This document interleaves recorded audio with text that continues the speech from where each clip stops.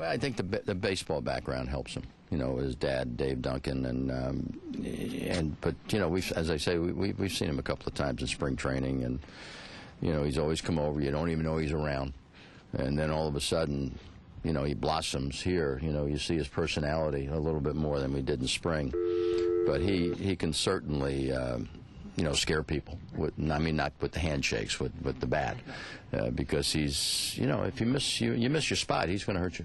How much did that Matsui home run change the complexion of this one? Well, it certainly gave us a little uh, uh, feeling good about ourselves. I mean, we were we were just I don't want to say flat, but we didn't do a whole lot, and then all of a sudden he hit that home run that perked everybody up. And you know, I thought uh, Igawa was fine. He gave up the two Singleton home runs, and then after that, you know, he got himself in a little jam, but he was able to pitch his way out. I thought it was a very important start for him. That at bat against Wigginton when he was able to get out of that inning, his last batter. Yeah. It show you? Show you That was that was very important, very important.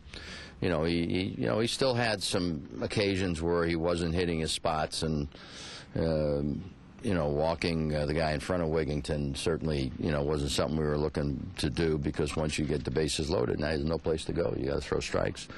Uh, but I thought he kept it together a whole lot better tonight today. And Phillips again, another big hit.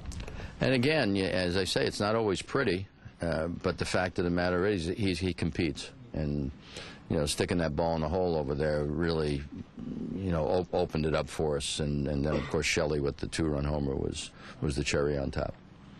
Phillips also made a good defensive play in the first inning too. on He can sides. he can make some defensive plays. You know, once he got comfortable over there, when he first showed up here for us this year, you know, he had been playing mostly second base.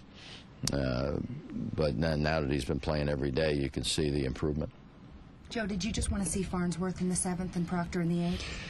Well, we had a couple of different plans. We had, uh, you know, with the game tied, I wanted to bring Visky, who's been pitching the best, and you know, once his pitch count went to where near 20, we only going to limit him to one inning. And uh, Farnsworth in the seventh, and if it was a close game, I was going to bring Chien-Ming Wang.